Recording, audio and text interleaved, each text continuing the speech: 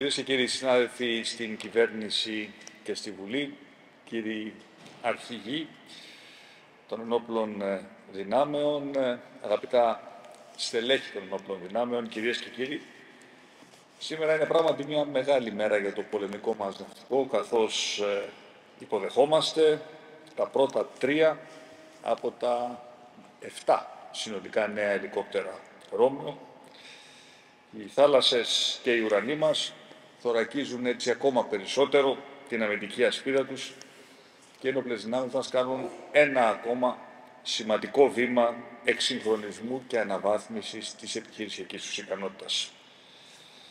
Τα MH60 ε, Ρώμεο είναι καρπή, αγαπητέ κύριε Πρέσβη, του διακρατικού προγράμματος το οποίο συνυπογράψαμε με τις ΗΠΑ και θέλω με την ευκαιρία αυτή να ευχαριστήσω ε, και εγώ τον ε, προηγούμενο Υπουργό Εθνικής Άμυνας, τον Νίκο τον Παναγιωτόπουλο, γιατί είναι σπουδαία δουλειά την οποία έκανε για τη δρομολόγηση αυτού του προγράμματος. Η αξία του ξεπερνά τα 550 εκατομμύρια δολάρια και είναι μια επένδυση που θέλω να θυμίσω ότι μας ζητούσαν εδώ και πολύ καιρό και οι επιτελείς της αεροπορίας του πολεμικού ναυτικού, αλλά και οι, οι χειριστές μας με την πολιτεία να ανταποκρίνεται, ε, επιλέγοντας και αποκτώντας γρήγορα το πιο φημισμένο μέσο ναυτικών επιχειρήσεων στον ανθικοφυλακτικό όσο και στον πόλεμο επιφανείας. Γιατί πράγματι, όπως ε, είδαμε και στο βίντεο και όπως μας είπε ο κύριος Αρχηγός, αυτά τα εξελιγμένα συστήματα εντοπισμού κρούσεις αλλά και αντίμετρων που διαθέτουν τα ελικόπτερα Ρώμα προσφέρουν ε, ξεχωριστές δυνατότητες σε αυτόν τον νέο τρισδιάστατο χώρο μάχης των ναυτικών συγκρούσεων της εποχής μας, ώστε να μπορούν να επεμβαίνουν και να δρουν με δύναμη και ασφάλεια, ρώντας και επιχειρώντας ουσιαστικά από τα βάθη της θάλασσας μέχρι τον ανοιχτό ουρανό. Σημαντική είναι, τέλος, και η διαλειτουργικότητα των νέων αποκτημάτων μας, με άλλες μονάδες του πολεμικού μας ναυτικού και τις φρεγάτες Πελαρά φυσικά, που από το 2025 θα αρχίσουν να εντάσσονται στο στόλο μας. Σημαντική είναι και η συμβατότητά τους με τον αεροναυτικό εξοπλισμό των συμμάχων μας στο ΝΑΤΟ, ένα στοιχείο που ενδυναμώνει το ρόλο της πατρίδας μας ως πυλώνα περιφερειακής ασφάλειας σε όλη την νοτιοανατολική Μεσόγειο και μαζί με τα ήδη υφιστάμενα 11 Aegean Hawk, ε, ελικόπτερα τα οποία ε, η πολεμική, ε, το ναυτικό μας τα πετά εδώ και σχεδόν 30 χρόνια, θα διαθέτουμε σύντομα 18 κυνηγούς υποβρυχίων, επιτρέποντας έτσι στην ναυτική αεροπορία μας να επιτελεί ακόμα πιο αποτελεσματικά την ιερή αποστολή της να κρατά ελεύθερες και ακέραιες τις θάλασσές μας. Να στέκεται όμως και στο πλευρό του πολίτη καθημερινά, καθώς όπως ακούσαμε τα ελικόπτερα Ρώμιο μπορούν παράλληλα να συμμετέχουν και σε επιχειρήσεις έρευνας και διάσωσης, αλλά εφόσον και αυτό χρειαστεί και σε δράσεις που αφορούν την πολιτική προστασία. Για τα τεχνικά τους χαρακτηριστικά νομίζω ότι μίλησαν ήδη οι πολύ πιο αρμόδιοι, από την πλευρά μου θα σταθώ μόνο στο γεγονός ότι τα ελικόπτερα αυτά ενισχύουν την ε, αξία τους σε μία εποχή, σε καιρούς που δυστυχώς εντείνεται η γεωπολιτική αστάθεια στην ευρύτερη περιοχή μας. Και παρά την ε, ηρεμία που ευτυχώς επικρατεί τώρα στο Αιγαίο, δεν πρέπει να ξεχνούμε ότι και οι εξανατολών γειτονές μας επιταχύνουν το δικό τους εξοπλιστικό πρόγραμμα. Επιβάλλονται συνεπώς οι προσεγγίσεις, όμως σε καμία περίπτωση δεν επιτρέπονται οι ψευδεστήσεις. Και όλοι οφείλουμε να είμαστε προσινείς, αλλά ποτέ αφελείς, μένοντας προσιλωμένοι στην πηξίδα που δείχνει πάντα την ειρήνη, το διεθνές δίκαιο και τη συνεργασία. Ταυτόχρονα όμως και σε διαρκή επιφυλακή για την προάσπιση των εθνικών μας δικαίων στην ψύχρεμη γραμμή που αυτή η κυβέρνηση υπηρετεί εδώ και σχεδόν μία πενταετία στη γραμμή του πατριωτισμού της ευθύνης.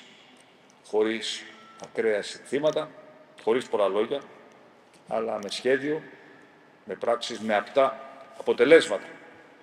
Το ναυτικό μας, μετά από τα ελικόπτερα Romeo, περιμένει τις τρεις φρεγάτες Μπελαρά, επιτέλους μετά από αρκετά χρόνια τις ε, τορπίλες βαρέως τύπου για τα υποβρύχιά μας. Η αεροπορία μας έχει ήδη υποδεχθεί σχεδόν όλα από τα 24 μαχητικά Rafale. Προχωράμε με μεγάλη ταχύτητα στον εκσυγχρονισμό των 83 F-16 Viper και βρίσκεται φυσικά και στον δρόμο για την απόκτηση των F-35. Και όχι μόνο, γιατί όπως είπε και ο κύριος Υπουργός, οι ένοπλες δυνάμεις μας στρέφονται συνολικά προς την αμυντική τεχνολογία και προς την καινοτομία. Ήδη μάλιστα το Υπουργικό Συμβούλιο ενέκρινε την ίδρυση ενός διακλαδικού οργάνου για την τεχνητή νοημοσύνη και ενός φυσικά τμήματος πληροφορικής, κάτι που είμαι σίγουρος ότι θα χαροποιήσει ιδιαίτερα τον ε, αρχηγό του Γενικού Επιτελείου Εθνικής Άμυνας, ενός τμήματος πληροφορικής στη Στρατιωτική Σχολή Αξιωματικών Σωμάτων. Ενώ παράλληλα αξιοποιείται η εγχώρια αμυντική βιομηχανία με αιχμή την ΕΑΒ, η οποία αναδιοργανώνεται πλήρως, αλλά φυσικά και τα ναυπηγεία μας. Πάνω απ' όλα, ωστόσο, την ε, ισχύ του στρατεύματος οικοδομή ακλόνητη αφοσίωση του έμψυχου δυναμικού του, όλων των γυναικών και των ανδρών που φορούν με υπερηφάνεια το εθνόσημο, επαγρυπώντας 24 ώρες το 24 365 μέρες το χρόνο. Η ευγνωμοσύνη όλων των Ελληνίδων και όλων των Ελλήνων προς τους ενστόλους μας είναι δεδομένη. Και επιτρέψτε μου να την απευθύνω για ακόμα μια φορά στα δικά σας πρόσωπα.